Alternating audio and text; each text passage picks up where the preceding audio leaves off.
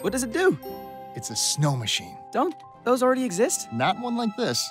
It lowers barometric pressure, generating real climate created snow. No water pumps, no compressors. Oh, interesting.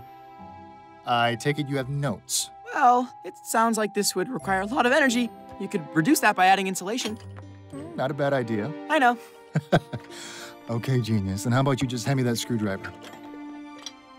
Time for a test run. Ready? Ready.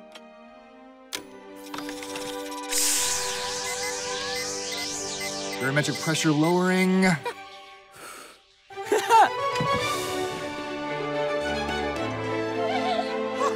You did it!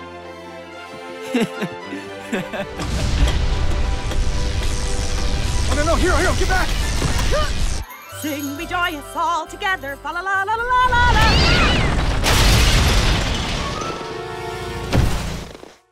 Ah. Is everyone okay? You too. Sorry, Cass.